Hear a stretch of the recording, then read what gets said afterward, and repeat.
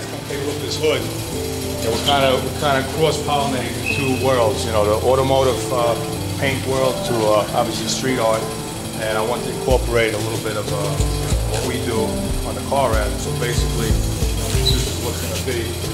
Yeah, you can see the Vibrance. Actually, it's PPG Vibrance Collection, uh, Big Flake series.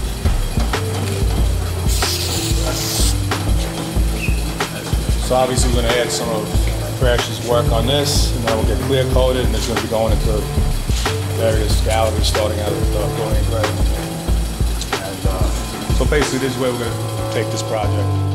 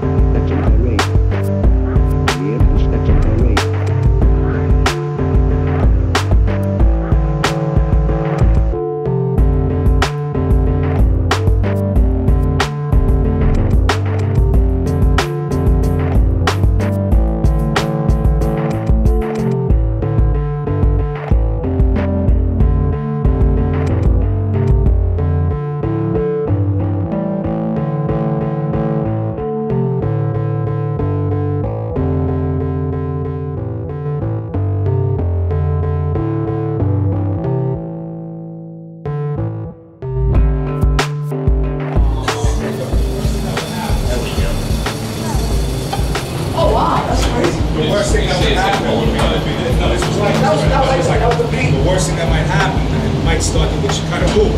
I'm saying, I wouldn't really That's all.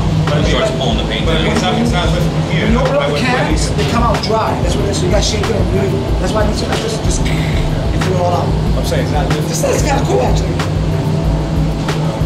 So they signed it. It's cool, somebody's fresh. yeah.